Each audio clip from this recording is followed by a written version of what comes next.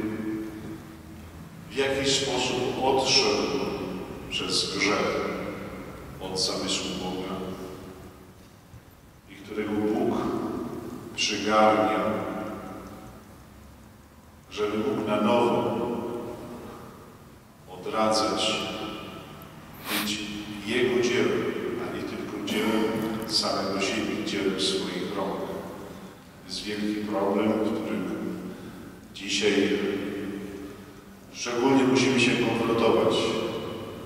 Człowiek czasem myśli, że potrafi prawie wszystko.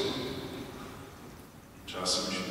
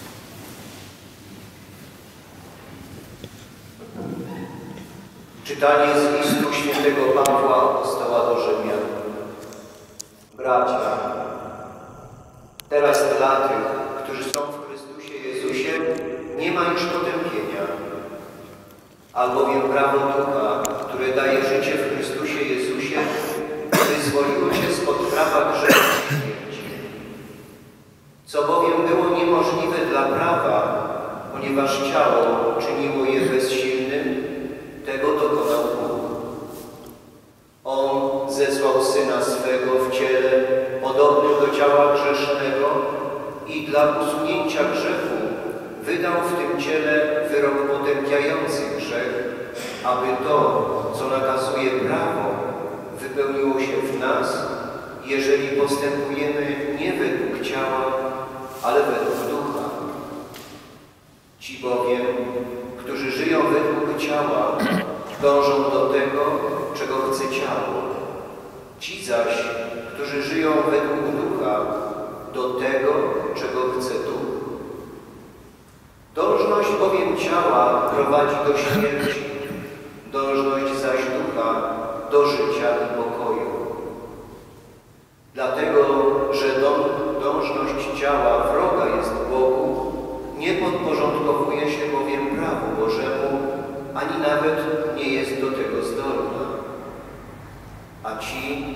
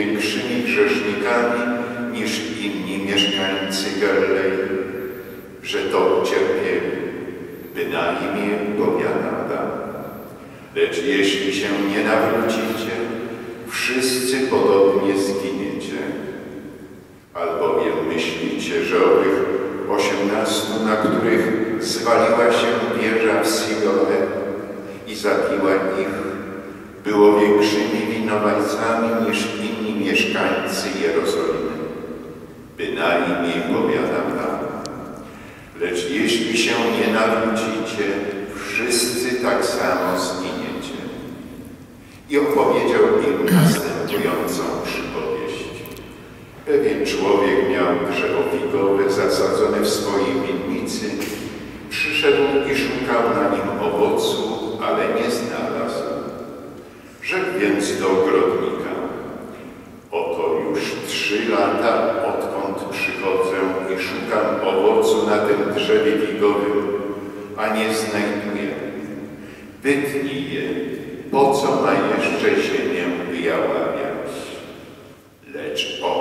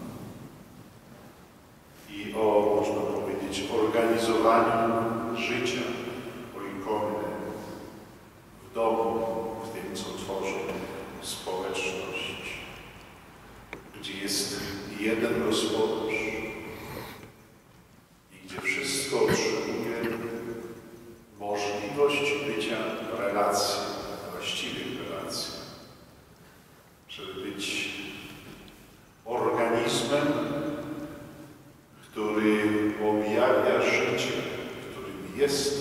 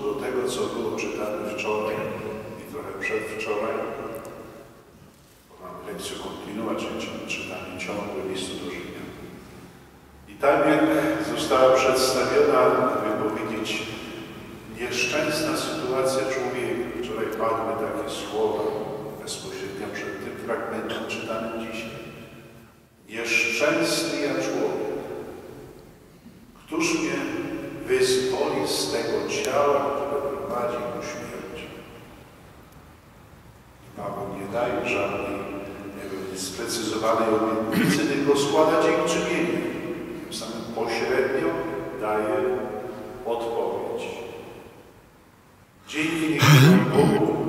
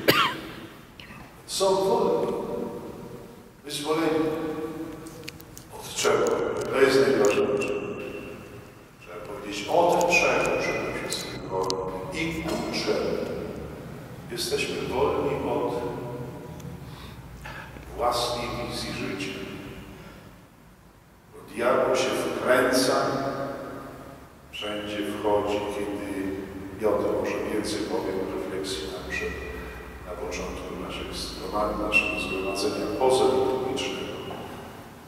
Diabeł się wkręca tam, gdzie człowiek chce coś osiągnąć po swoim.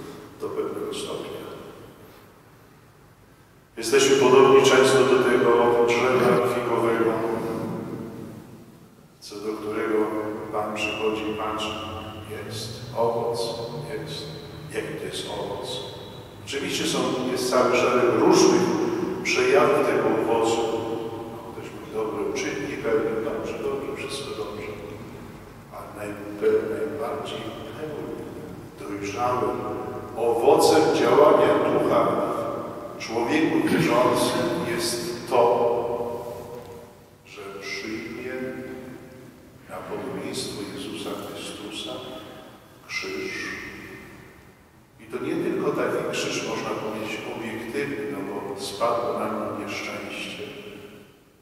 Ale można to nazwać, co Jezus wskazał Krzyż związany z relacjami do drugiego człowieka. Kiedy drugi człowiek jest w jakiś sposób dla mnie czasem jest wprost wrogiem, nieprzyjacielem.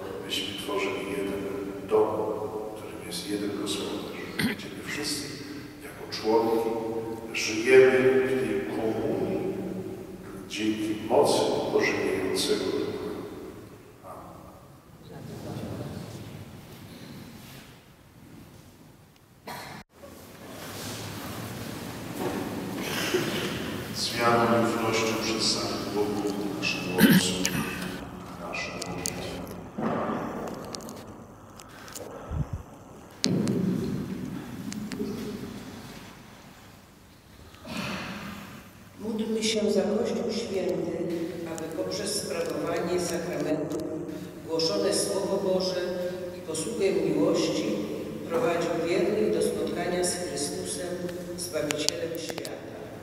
Ciebie,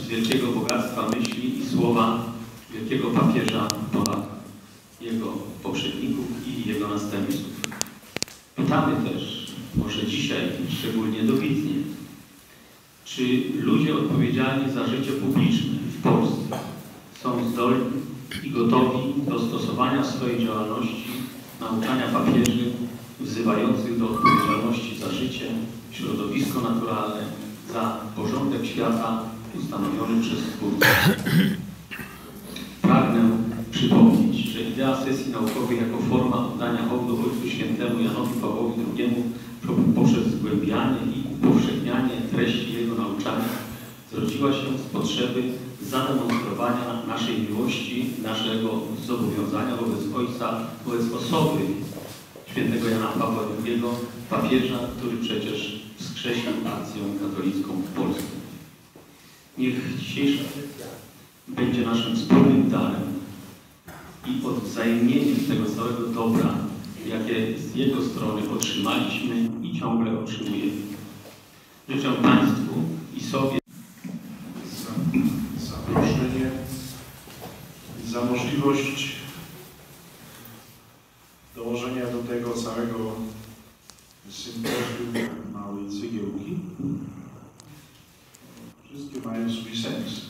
Mam tylko powiedziałem, że to jest nie jakaś prelekcja, tylko krótkie słowo. I wyjdę z tekstu z księgi Barucha. To jest dzisiejszej liturgii godzin. Profesor jeszcze nie odmawiał, a to ma być odmawiał. Jest piękny tekst, który, którego też fragmenty czytamy podczas Wigilii Paschalnej. Jest powiedziane o Izraelu. Jakże wielki jest dom Boga, jakże obszerne miejsce posiadłości Jego.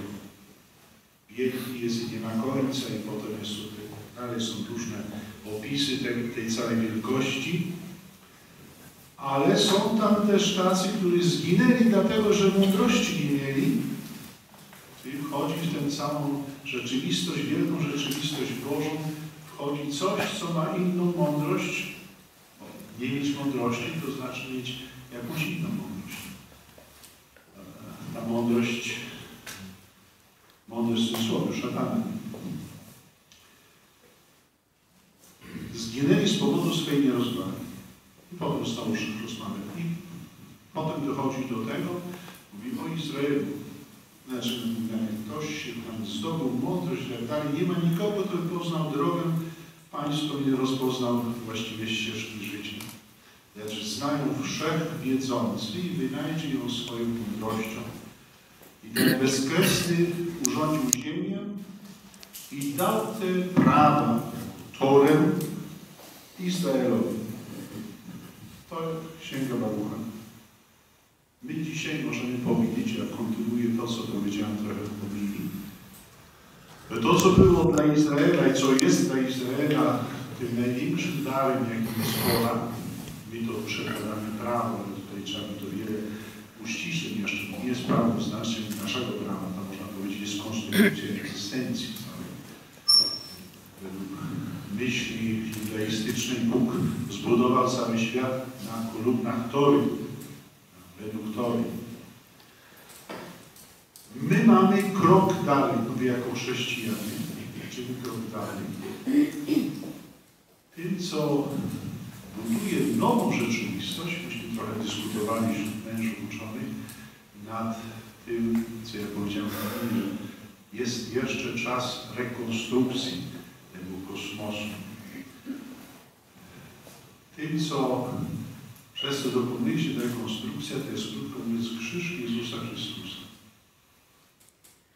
I świat uzyskuje właściwą pełnię jako środowisko życia, jako ten oikos, dom, są jest oikologia, oikumene, dom Boga, przez to, że to zniekształcenie, jak nastąpiło w grzechu, gdzie ludzie szukali swojej mądrości, poznanie dobra i zła, na tym polegał grzech pierwszych rodziców i na tym polega grzech i Wojtka, i mój. Wojtka nie ma pewno żadnego, jest najwyżej Wojciech. Tam jest tak trochę. Grzech każdego z nas, że my sięgamy po naszą zwichniętą mądrość, nasze poznanie dobra i zła. Mówimy, tak powinno być, tak ja będę działał. Świadomie, nieświadomie, całkowicie wolno, w sposób wolny czy nie. Tak w tę rzeczywistość weszła jako naprawa prawda Jezusa Chrystusa ukrzyżowanego i zmartwychwstałego i mającego ducha, tak jak mówili, który na nowo nad tym wszystkim yy, daje nam możliwość W wierszu piszą, to jesień już szafarka aspiryny. E, Kiedy słuchałem tego, co mówił ksiądz e, e, biskup, uświadomiłem sobie, proszę Państwa, że to, co chcę Państwu powiedzieć, to będzie w gruncie rzeczy egzemplifikacja owych ruin. To znaczy, będę chciał Państwu powiedzieć, w jaki sposób e, ten zamysł miltonowski e, budowania ruin przez e, tego, który jest przeciwnikiem, trwa. I ten zamysł się ukonkretnia e, najpierw w ideach, a my wiemy bardzo dobrze, że e, wydawałoby się, że czysto teoretyczne idee mają bardzo daleko idące praktyczne konsekwencje. Gdybyśmy sobie tak przeanalizowali chociażby historię idei filozoficznych, to uświadomilibyśmy sobie, które idee prowadziły do jakich dramatów, wojen, wyniszczenia, holokaustu i wiele by można tutaj wymieniać. Będę mówił właśnie o tym. Termin e, ekologia i ekologizm od idei do ideologii. Termin ekologia który pochodzi, jeszcze konsultowaliśmy to, bo żeby, żeby, żeby nie zbłądzić, który pochodzi od greckiego oikos, dom, a więc tak jak to mamy w tytule, nasz wspólny dom. Termin ekologia ulega wciąż różnym semantycznym, czyli treściowym deformacjom, które nadają mu zróżnicowane znaczenie. Pierwsze podstawowe znaczenie sformułowane przez biologa Ernsta Haecla w 1866 roku i wciąż funkcjonujące w wąskim środowisku nauki oznacza po prostu dział biologii, którego przedmiotem badań stanowią wzajemne relacje pomiędzy organizmami a ich ożywionym i nieożywionym środowiskiem. Czyli po prostu nauka deskryptywna, nauka opisowa, mówiąca, jakie są relacje między organizmami w tym szeroko ujętym biotopie. Na początku lat 70. ubiegłego wieku zainicjonowane zostało drugie znaczenie ekologii, mające znacznie szerszy zasięg oddziaływania, docierające do grona decydentów, a także do zwykłych obywateli, którzy nie są naukowcami, jak my. Od tego czasu ekologia staje się synonimem wysiłków, nadaje się jej pewne znaczenie wartościujące. Wysiłków na rzecz ochrony środowiska, ale ochrony w sposób szczególny, to znaczy przed negatywnymi skutkami działalności człowieka. A więc już mamy budowanie opozycji między człowiekiem a środowiskiem. Jak się wydaje, daleką pochodną takiego pojmowania ekologii jest przymiotnik ekologiczny, którego zakres jest wieloznaczny, na przykład przyjazny przyrodzie, ale także zdrowy dla człowieka, wykonany z naturalnych produktów, naturalny itd.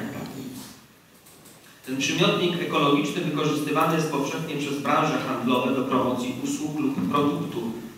Im mocno przysłużył się do dewaluacji pierwotnego pojmowania ekologii, ekologii, ale bardzo skutecznie się rozpowszechnił.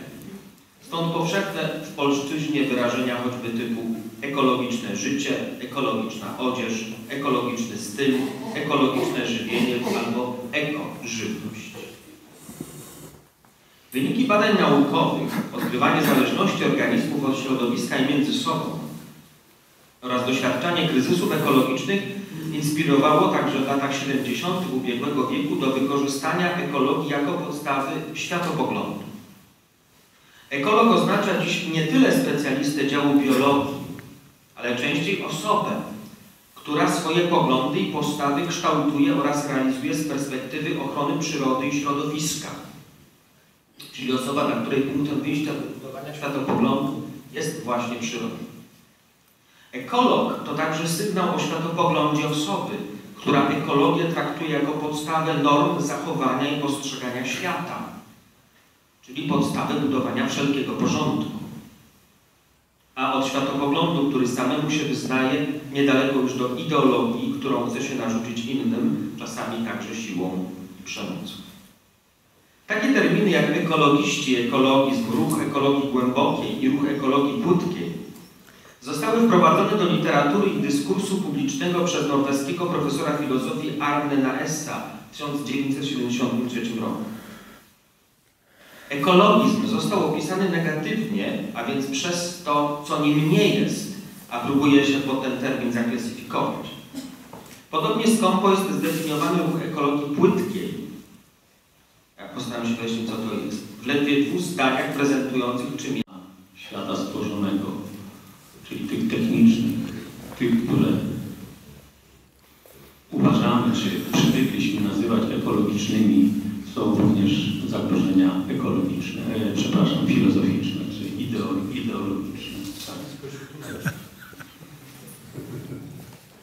Dziękujemy bardzo, ponieważ ksiądz biskup e, musi nas opuścić e, wzorem lat ubiegłych i także realizuje taką wolę świętego Jana Pawła II, żeby modlić się w południowej godzinie modlitwą Anią, to teraz poprosimy księdza biskupa o poprowadzenie tej modlitwy, a później się pożegnamy.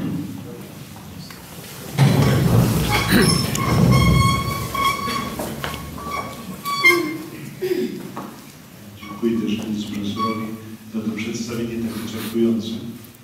Dodam, tam jest bardzo ważne, rozumie się, że ksiądz profesor biblista też się zgodził, kiedy jest powiedziane, niech panuje nad rybami morskimi człowiek i tak dalej. To słowo panuje tak przekładane, ale tam hebrajskie słowo ma także wydźwięk, konotację odpowiedzialności. I dlatego nie hegemonia człowieka nad stworzeniem, tylko takie odpowiedzialne gospodarowanie, jak to jest według zamysłu Pana Boga. Jak to po polsku też oddać, jest trudne, nie chcę chodzić strony filologiczne, ale jest bardzo ważne. Człowiek nie jest do panowania, tylko jest e, tym przedłużeniem władzy Boga, na ile jest pod władzą Boga. To ostatecznie jest to, na tych ruinach jest krzyż. Dobrze. Prosimy o to, żebyśmy mieli świadomość i fundamentu, jaki jest w zamyśle Boga w stosunku do każdego z nas i do społeczności. I tego, jakie są ruiny, i tego, jakie są niewłaściwe rozwiązania, i tego, jakie jest właściwe, jedyne właściwe rozwiązanie. Proszę? sobie ziemię poddany. Jak rozumieć? No Czynić tak, sobie od, ziemię czyli poddaną. właśnie poddany, to po, poddanym, panować i poddanym to jest właśnie odpowiedzialność. Piotr spuszczone z góry, jakby prześcieradło i wszystkie zwierzęta. Wiedz, i- bierz i jedz. Tak jest. Wszystko tam chodziło o przepisy, przepisy moralne. Nie? Wolno, nie wolno. To jest jeszcze trochę inna kwestia. Ale odpowiedzialność, dlatego, że jesteśmy przed kimś. Jesteśmy przed obliczem Boga. Jako największy wyraz ukoronowanie całego stworzenia. I od, dlatego natura, stworzenie oczekuje objawienia się synów Bożych. Ale to jest jeszcze następny wykład. Przepraszam, że się odmeldujemy. Prośmy Boga, byśmy mieli tego ducha. Podobieństwo Maryi, która w całej odpowiedzialności powiedziała, niech mi się stanie. Nie, że ja to zrobię. To niech mi się stanie według Twojego słowa. To jest też ekologiczne wydarzenie. Anioł Pański zwiastował Pannie Maryi. Zdrowaś Maryjo, łaski pełna, Pan z Tobą, błogosławionaś między niewiastami i błogosławiony owoc żywota Twojego Jezus.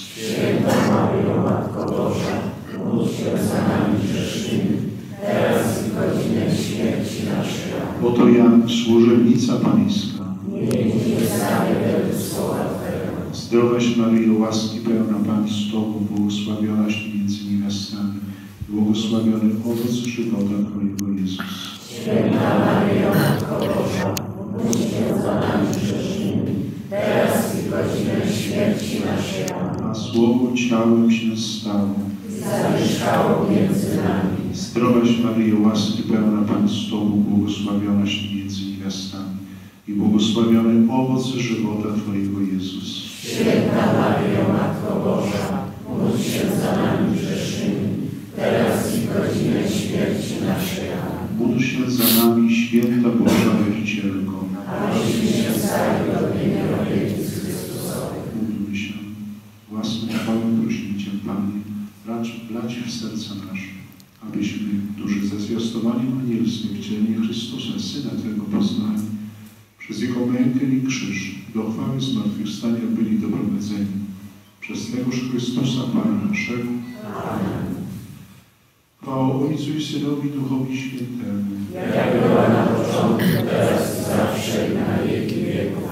Ze zmarłych wieczny odpoczynek racz im dać, Panie. A światłość wieku i stanie na nim świeci. I odpoczywają w pokoju wiecznym. Amen. Niech Was błogosławi Bóg Wszechmogący, Ojciec i Syn i Duch Święty. Życzę dalszy obrad. Szkoda, że nie będę słyszeć, ale mam nadzieję, że to będzie zostało opublikowane. Mamy też księdza Grzegorza Sokołowskiego. Też ma. Dziękuję bardzo. Będzie pochwalony Jezus Chrystus. Na wieki wieków. Amen. Kontynuujemy naszą sesję zgodnie z programem. Nasz, naszym następnym prelegentem, gościem jest ksiądz dr Tomasz Czernik, oczywiście nas tam znany, wielu lat przyjaciel akcji katolickiej. Jego wykład brzmi Teogeneza świata w perspektywie przezwyciężania kryzysu ekologicznego. Bardzo proszę.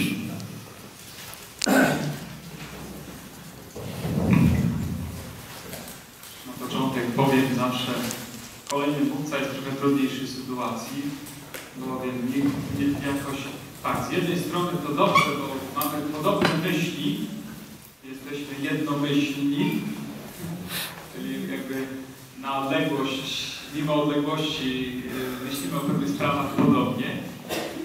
Dlatego pewne y, tematy, które poruszę, będą pewnie się pokrywać z tym, o czym mówił mój szanowny przedmówca.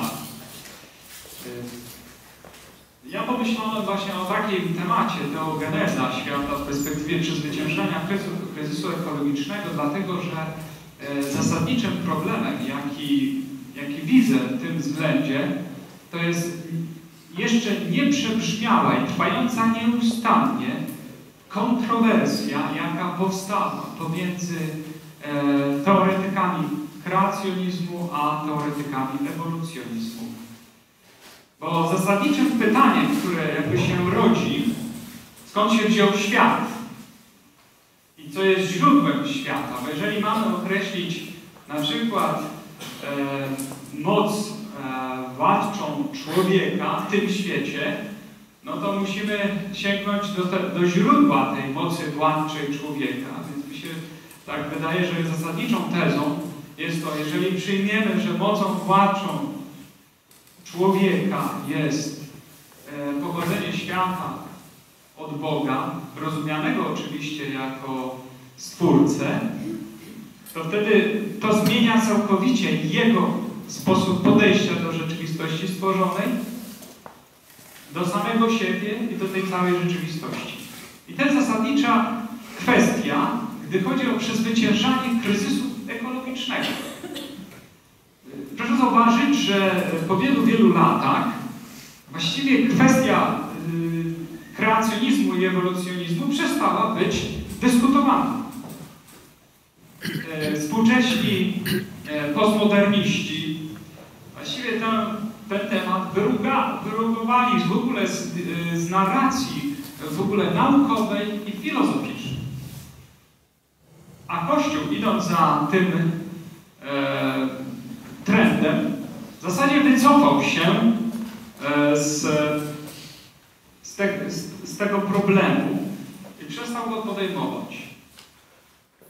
To jest mimo wszystko, według mojego takiego, e, takiej wrażliwości e, intelektualnej, jest to temat mimo wszystko kluczowy. Tego, teo, tego teogeneza świata. I dopiero w tej perspektywie można mówić o przezwyciężaniu w ogóle kryzysu ekologicznego. Żeby zobaczyć może jeszcze tylko jaki taki komentarz. Ja się zastanawiałem, dlaczego dlaczego papież napisał encyklikę właśnie ekologiczną, o ekologii. Dlatego, że Kościołowi religii przypisuje się rzeczy niestworzone. Przypisuje się coś, co jest nieprawdą. Więc mając to na uwadze, po tym moim wprowadzeniu, przejdę do tego, co tutaj chciałem Państwu zaprezentować. Podstawową e, negacją, jaką spotykamy się we współczesnej ekologii jest kategoria stworzenia.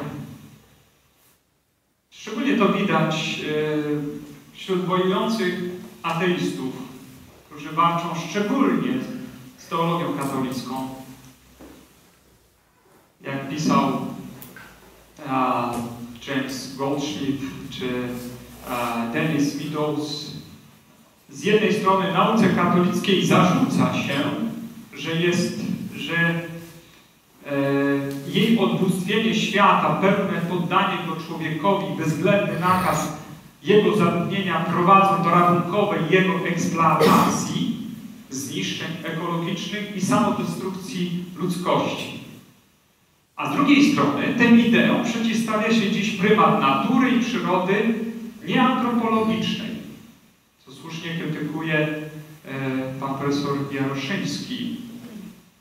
Jednak Biblia ukazuje człowieka jako sens stworzenia nieosobowego, wiąże go ściśle z całością świata pozaludzkiego, bo właściwie ten świat bez człowieka w zasadzie nie istniał.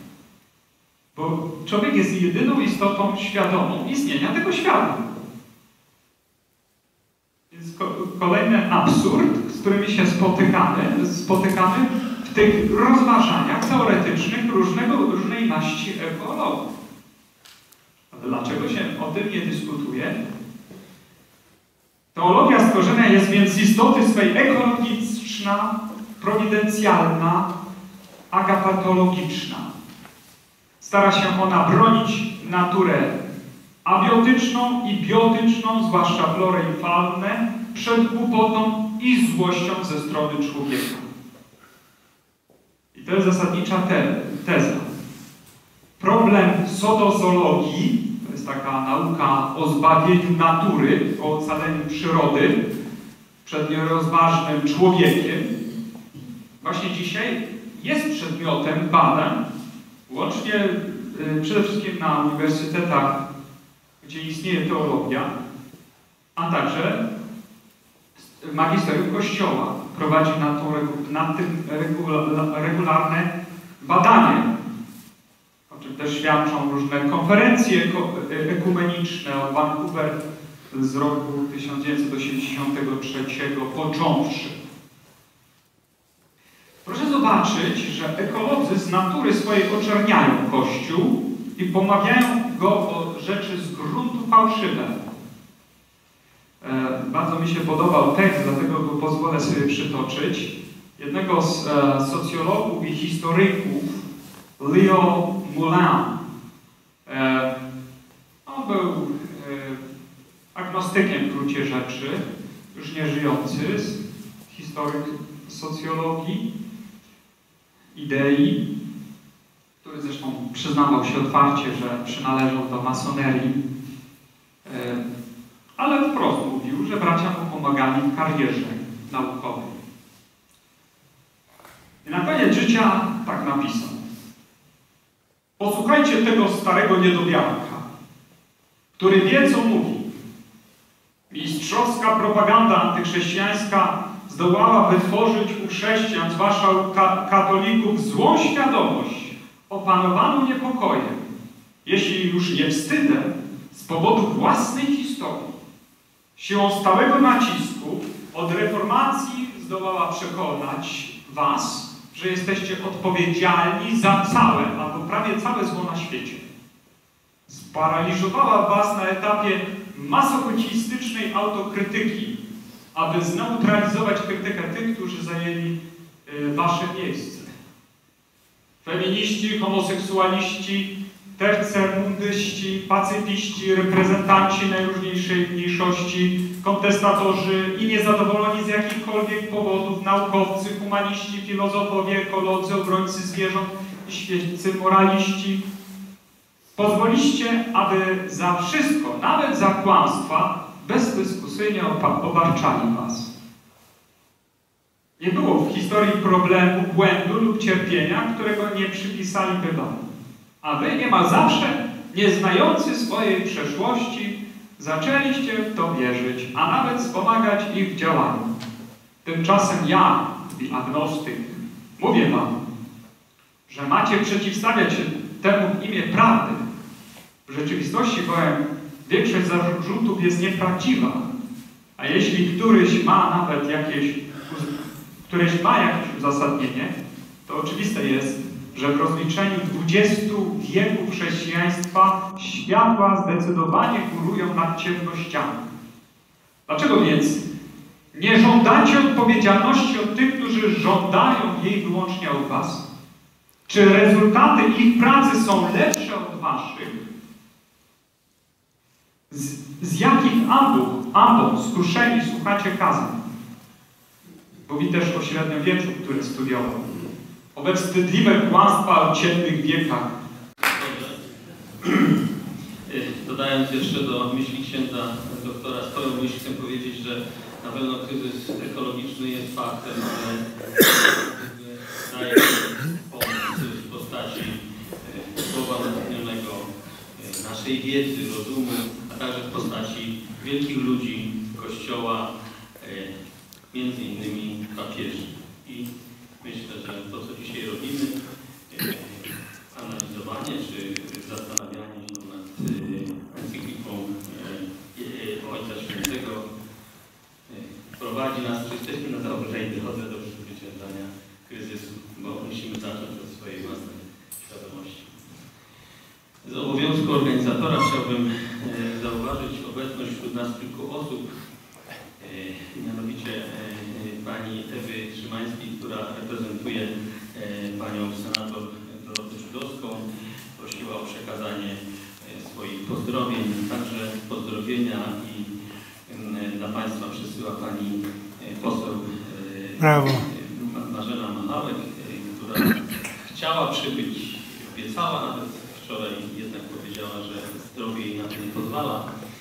Chcę też zauważyć obecność wśród nas e, pana prezesa Lucjana Sprobuka, e, e, właściciela firmy PG, PGRM, który od wielu lat jakoś nas wspiera. Także pana, pana Stanisława Potycza, który naszego przyjaciela, który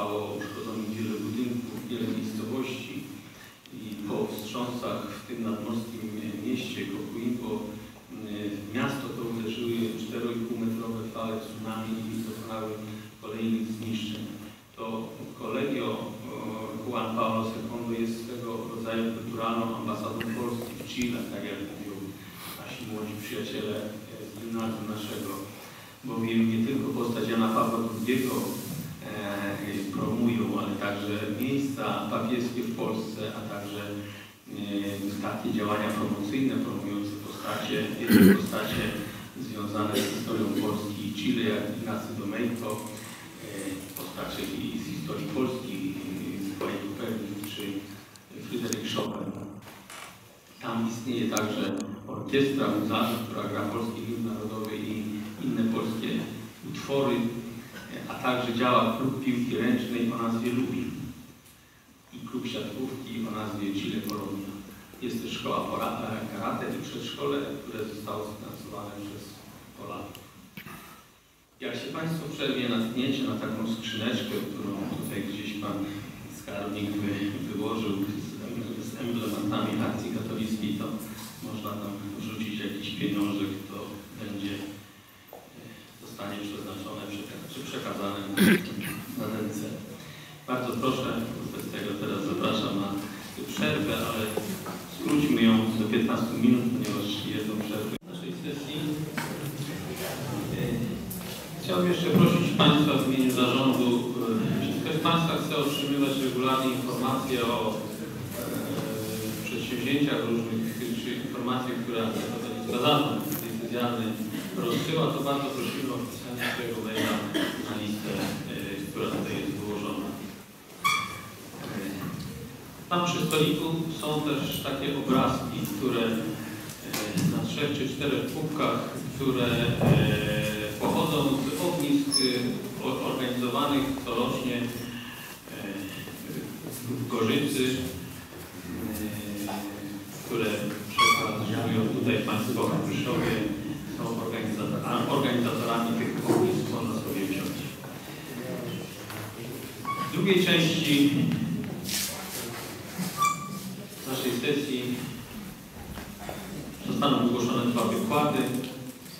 Pierwszy, który za chwilę będziemy mieli okazję usłyszeć, głosi ksiądz profesor Grzegorz Sokołowski z Papieskiego Wydziału Teologicznego w Wrocławiu. Wykład zatytułowany Ekologia Integralna według papieża Franciszka. Myślę, że teraz już tak najbardziej w sposób zbliżymy się do treści encykliki Laudato. Bardzo proszę. Bardzo dziękuję za zaproszenie tutaj do Państwa na tę sesję, na to spotkanie.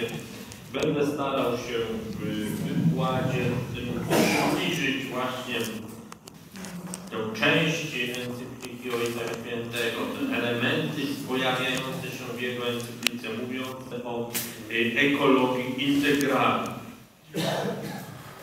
Szanowni Państwo, wybór imienia Franciszek podczas konklawy 13 marca 2013 roku jest wskazaniem na priorytety pontyfikatu kardynała Bergoli. Wybrał imię syna zamożnego kupca z Asyżu, który odszedł od światowego trybu życia, stając się biedaczyną z Asyżu, jako określano. I świadczy to o tej szczególnej więzi papieża z ubogimi, z ubóstwem. Podczas właśnie spotkania z dziennikarzami tuż po wyborze, Franciszek wspominając o swoich przemyśleniach podczas konklawy mówił jakże bardzo chciałbym Kościoła ubogiego i dla ubogich.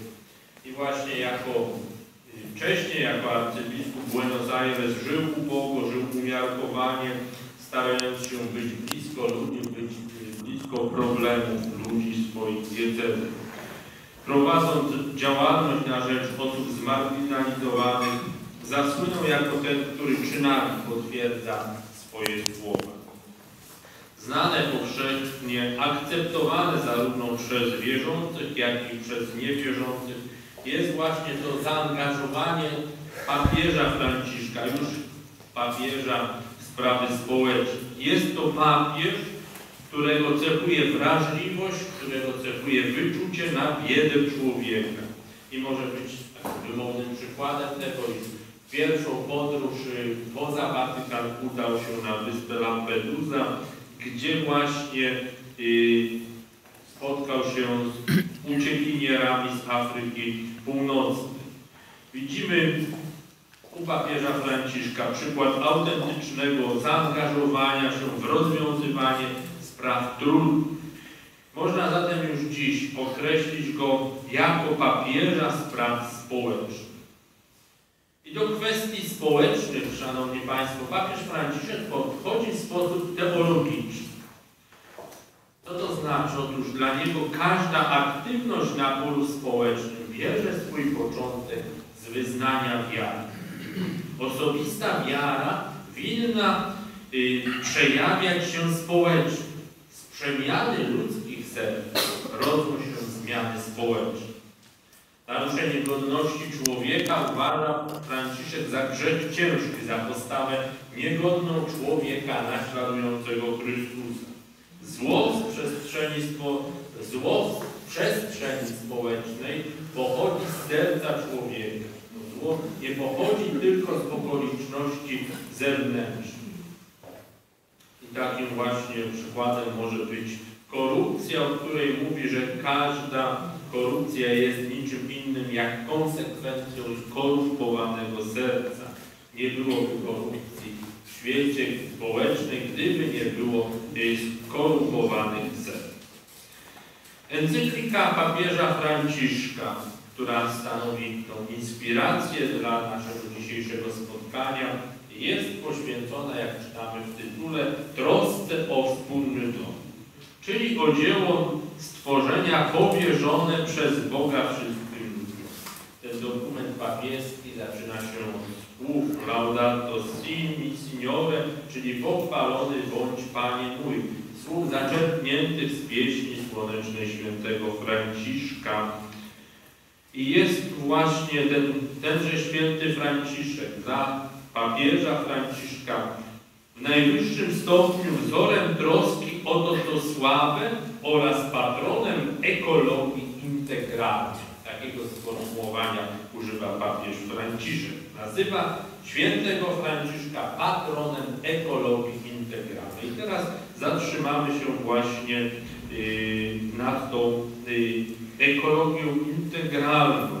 Może najpierw jeszcze na chwilę yy, nad samą encykliką. Jest to encyklika, proszę Państwa, społeczna. Ona wykracza daleko poza kwestie ekologiczne. Yy, Dotychczasowe nauczanie społeczne Kościoła, którego przedmiotem zawsze była troska o godność, prawa człowieka, o sprawiedliwość społeczną. To nauczanie Franciszek rozszerza o apel o szacunek dla całego stworzenia. Przypomina, że zadaniem człowieka nie jest jakaś dzika i egoistyczna eksploatacja darów natury, ale odpowiedzialność za nie. I na tym właśnie polega odczytywanie przez człowieka Bożego planu. Ta encyklika y, budziła początkowo zaskoczenie. Wydawało się, że poruszany problem nie jest związany z treściami teologicznymi, że religia i ekologia to dwa obszary, które zdaje się nie spotykają. Y, Tymczasem ta kwestia ekologii była obecna już wcześniej w nauczaniu Kościoła.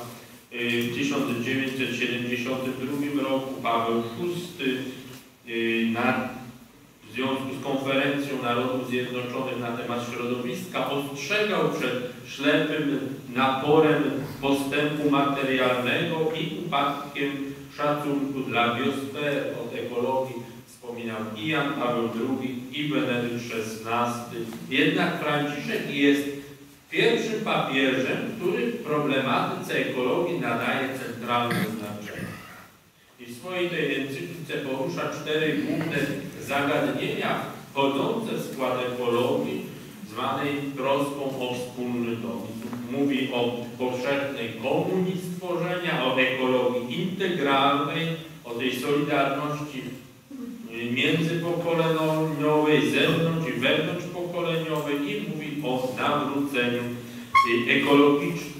Podkreśla, że miłość do wszystkich rzeczy stworzonych przez Boga oznacza ekologiczny szacunek dla natury, zwierząt i całej planety. Twórcą, człowiekiem i całym światem stworzonym. Myślę, że ksiądz profesor również na koniec podsumuje w imieniu księdza biskupa. Choćby ten wielki dramat, jaki rozgrywa się między Stwórcą, człowiekiem i światem stworzonym. Ten dramat rozgrywa, rozgrywa się już na przestrzeni wielu wieków, bo wszakże cywilizacja jest naznaczona tym dramatem spotkania się Stwórcy i człowieka. I przejdźmy właśnie przez różne cywilizacje, byśmy y, spotkali się ze Stwórcą i spotkali się z rozumieniem człowieka, ale także i natury, która nas otacza. Starożytny Egipt, cywilizacja, która rozwija się dynamicznie, a jej szczyt rozwoju widzimy już kilka tysięcy lat przed Chrystusem, około 3000 lat przed Chrystusem. Spotykamy tutaj również obraz Boga Stwórcy. Bóg no, stwarza człowieka.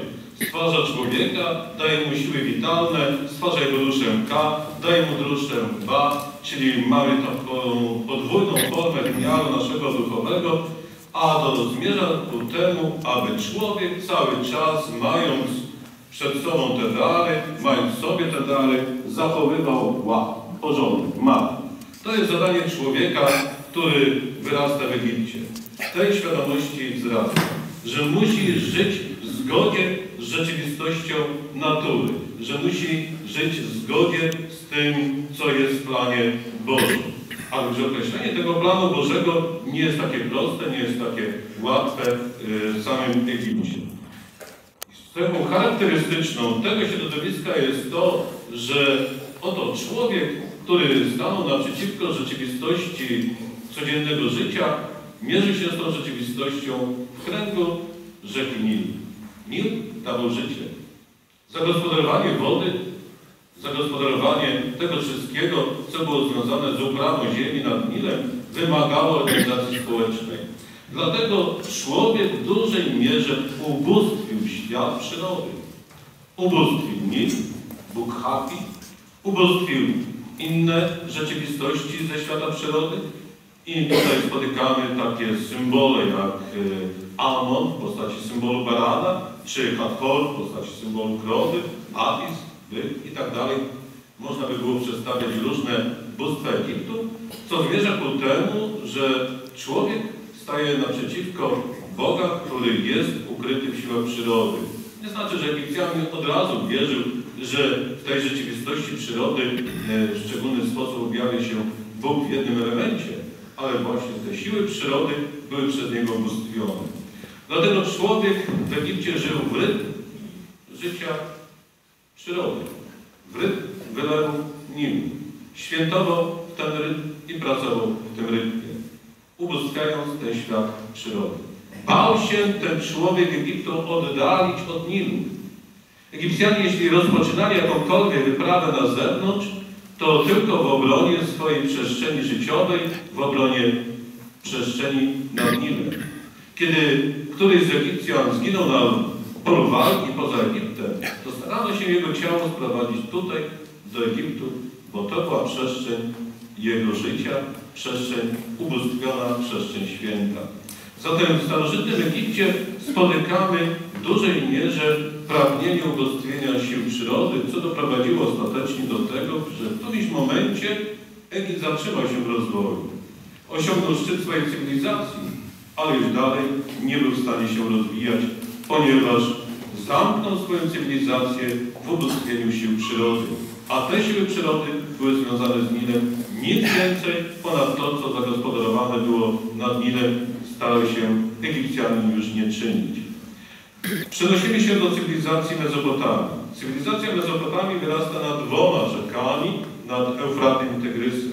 I na samym początku uświadamiamy sobie, że człowiek bez zagospodarowania również tych rzek nie był w stanie się rozwinąć. Nie był w stanie stworzyć szerokiej przestrzeni dla siebie życia. Musiał się zorganizować, bo przecież sam w pojedynkę nie był w stanie zmierzyć się z takimi dużymi rzekami. Nie był w stanie wody sam w pojedynkę, nawet w małej grupie, sprowadzić na pustynię. Trzeba było zorganizować życie społeczne. I ta organizacja życia społecznego doprowadziła, że człowiek zagospodarował olbrzymie przestrzenie dla swojego życia. Wydobył z tego piasku, wydobył z tych możliwości, które były przed nim, to wszystko, co dało mu możliwość funkcjonowania i życia. Po prostu zagospodarował tę przestrzeń. Gdyby człowiek się nie zorganizował, gdyby każdy pozostał w swoim szałasie, to ta przestrzeń by nie rozwinęła wielkiej cywilizacji. Ale ze względu na to, że ludzie się zorganizowali, że podporządkowali się władzy i że ta władza zadbała o szerszy stopień zagospodarowania przestrzennego, wtedy ta ziemia była w stanie wydać więcej plonów, ta ziemia była w stanie dać więcej możliwości dla człowieka, ta ziemia była w stanie więcej ludzi przyjąć i dać im godne życie. Bo człowiek wykorzystał swoją rozumność dla zagospodarowania tego terenu. I również tutaj człowiek żył w zgodzie z naturą, ponieważ zagospodarowując tę przestrzeń, starał się ją uszanować, by ona dawała mu coraz większe plony i możliwości rozwoju. Żyjąc w zgodzie z naturą, również tę naturę starał się poznawać. I właśnie tutaj w Mezopotamii widzimy, jak człowiek uczynił z rozumu to narzędzie, by poznać